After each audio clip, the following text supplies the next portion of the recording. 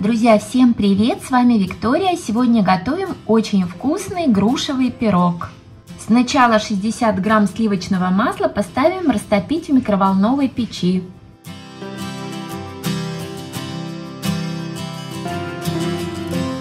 И теперь подготовим груши. Понадобится примерно 3-4 штуки в зависимости от размера ваших груш. Груши очищаем от кожуры. Разрезаем напополам. Убираем сердцевинку.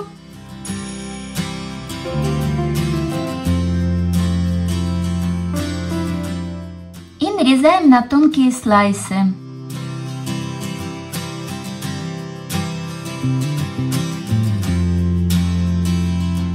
В миску выбиваем 2 яйца.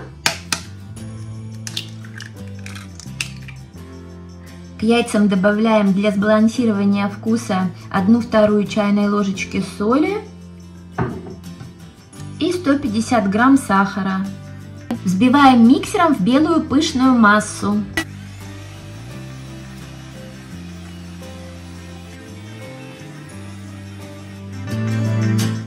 Яичная масса хорошо увеличилась в размерах, побелела. Добавляем в нее 160 грамм сметаны. У меня сметана 20% жирности.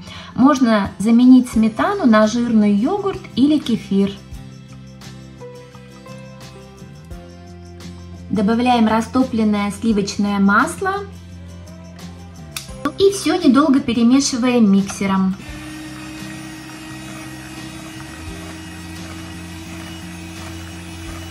Затем просеиваем 230 грамм муки. И просеиваем 2 чайные ложки разрыхлителя. Вместо разрыхлителя можно использовать соду, 1 чайную ложечку. И еще раз все перемешаем до однородного состояния.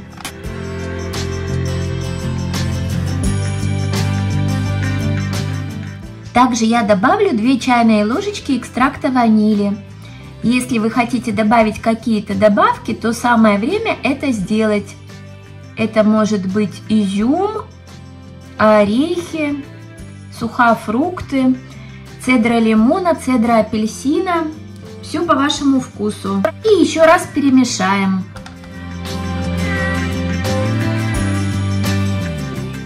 Тесто должно получиться гладкое и однородное.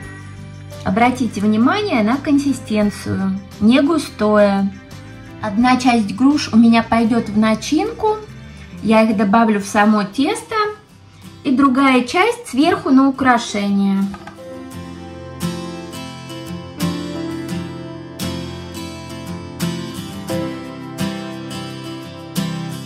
Подготавливаем форму для запекания. Я буду использовать форму размером 20 сантиметров. Застилаю ее пергаментной бумагой и смазываю кусочком сливочного масла. И переливаем тесто в форму.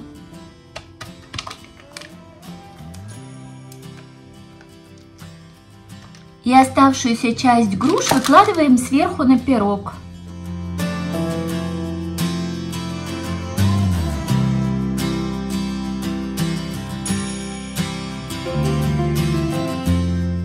Сверху пирог присыпаю немного коричневым сахаром.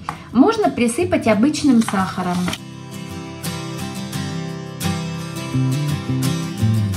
Отправляем запекаться тесто в духовку, разогретую до 180 градусов, примерно на 40-45 минут. Ну, конечно же, ориентируйтесь на особенности вашей духовки.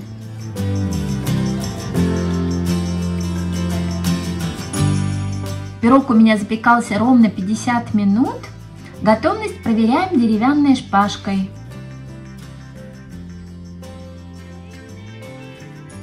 Даем пирогу немного остыть и затем извлекаем его из формы.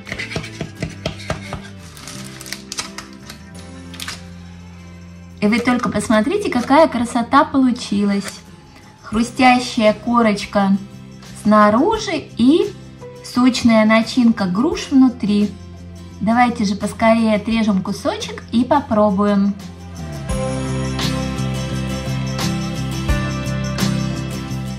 И вы только посмотрите, какая вкуснятина получилась. Пирог у меня еще горячий, но нарезается прекрасно.